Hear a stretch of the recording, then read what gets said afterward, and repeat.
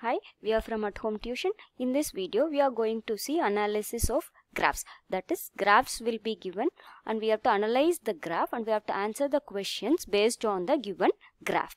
Our first question is, observe the following picture and answer the questions given below. So first let's analyze the picture.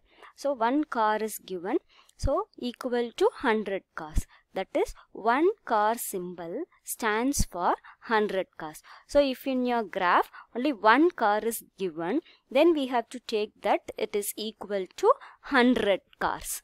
So now they have given different months, July, August and September. And for July month, they have given one car, two car and half of the car. Okay, so if you uh, take one car then you have to equate it to 100 cars so first car equal to 100 car second car equal to 100 car then half is given. So you can take the test. That is it denotes 1 by half of 100 so 1 by half of 100 is 50 so 100 plus 100 plus 50 so 250 so in the month of July they have given 250 cars. Now we'll move on to August so August they have given one car, one car, one car. That is 100 car plus 100 car plus 100 car, 300 cars. So in September they have given 1, 2, 3 and 4 cars. Okay, so now we'll move on to the question. How many cars were produced in the month of July? In which month were maximum number of cars produced?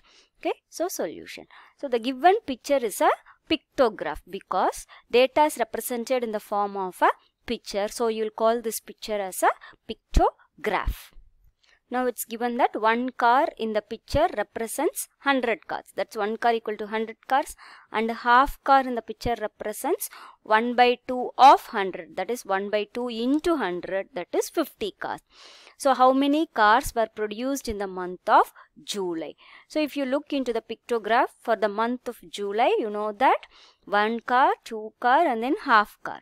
So one car plus one car plus half car. So one car we are taking it to equal to 100 cars.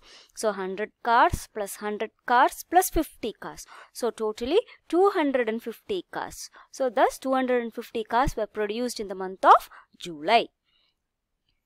Next question is, in which month were maximum number of cars produced? Now we want to calculate the number of cars produced in each month.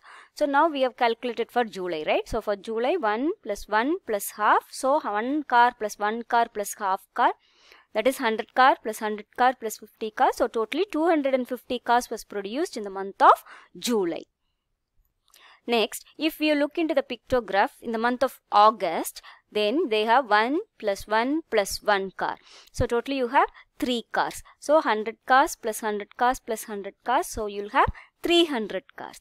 Now we'll go for the next month that is September. So if you look into the pictograph for September, they have given 1 plus 1 plus 1 plus 1. So totally 100 cars plus 100 cars plus 100 cars plus 100 cars. So that is 400 cars.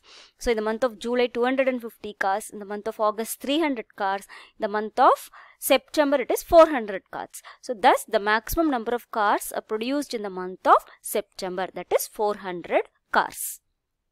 Observe the following bar graph and answer the question below. This is our next question. So now we have to observe the bar graph. So it is given academic years in x-axis that is 2003 to 4, 4 to 5 and 2005 to 6, 2006 to 7 and 2007 to 8. These are all the various academic years that is represented in x-axis. Now if you move on to your y-axis, number of students in class 8 is given in your y-axis. So they have taken in the units of 50, 100, 150, 200, 250, 300 and 350. Okay, so they have given the number of students in class 8 against each academic year. Okay, now let us see what are the questions asked. So the first question is what is the information given by the bar graph? So the solution is bar graph shows number of students in class 8 against each academic years. That is academic year from 2003 to 2008. 8. So if you analyze this bar graph, we can say in each academic year how many students were present in class 8. So now from the graph we can form a table like this. That is in the academic year 2003 to 2004, 100 students were admitted in class 8 and then 2004 to 2005 there were 200 students and then 2005 to 2006 250 students and then 2006 to 2007 300 students and then 2007 to 2008 there were 350 students. Next question is in which year is the increase in the number of students maximum? So in which year the increase in number of students is maximum. So you have to analyze the bar graph and you have to found this. So if you look into the bar graph, so the height of the bar represents the increase in the number of students. Okay. So increase and it's increased by 100 in the year 2004 to 2005. So each year we have to compare.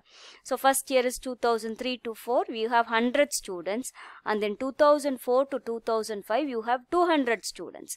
So the increase in number is by 100 okay then if it is increased by 50 in the next year that is 2004 to 2005 and then 2005 to 6 here it's 200 then it's increased to 250 okay if you go to the next year that is from 2005 to 6 you have 250 students.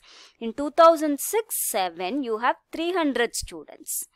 Okay so the increase in number is 50 then if you look into the next year that is from 2006 to 7 you have 300 students. And then from 2007 to 2008 you have 350 students so the number of students is increased by 50 okay so in all the years it's increased by 50 but in the year 2004-5 the number of students is increased by 100 so thus we can say that the increase in the number of students is maximum in the year 2004-2005 Next question is, in which year is the number of students maximum? So if you look into the bar graph, so the height of the bar represents the number of students. So which bar is height that year represents the maximum number of students admitted. So if you look into the graph the height of the bar is highest in 2007-2008 that is 350 students. So in 2007 and 2008 there are number of maximum students in that year. So thus we can say that number of students is maximum in the year 2007-2008. Next question is state whether true or false. So the uh, statement is the number of students during 2005-2006 is twice that of 2003-2004. So now we look into the bar graph and the number of students in the year 2005-2006 is here. So it is 250. Next, the number of students in the year 2003-2004 that is here. That is 100 students. So it's 250 students in 2005 and 6 and 100 students in 2003 2004. So the number of students increases 150 compared to students in the year 2003-2004. So it is more than double. So thus the statement that is the number of students during the year 2005-2006 is twice that of 2003-2004 is false.